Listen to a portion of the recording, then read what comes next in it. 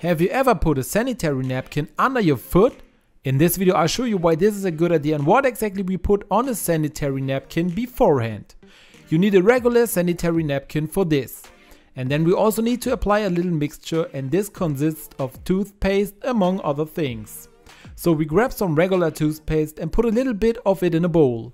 Now we need one more ingredient and that is baking soda. You can also find baking soda in my own shop. You can find the link to the shop below in the video description. Add about a tablespoon of baking soda to the toothpaste and mix everything together. In the end you should have a paste like this, because that's exactly what we need to apply to the sanitary napkin. So you take the sanitary napkin and spread this paste on it. Of course you need two sanitary napkins because you have two feet. So you spread the mixture evenly on both sanitary napkins. Now grab the sanitary napkin, put your food on it, put a sock on it to make sure it stays in place and leave it on for 1 or 2 hours. The toothpaste in combination with the baking soda makes your feet really soft. So even if you have cracked heels or a lot of calluses under your feet in general, you can fix it with this.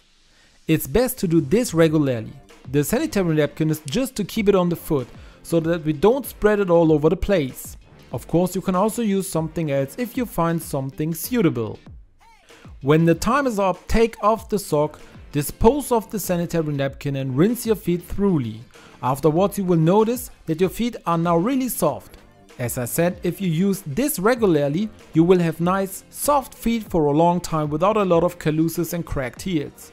So be sure to try this trick on yourself too. Would you also like to know 8 dishwasher mistakes you should never make?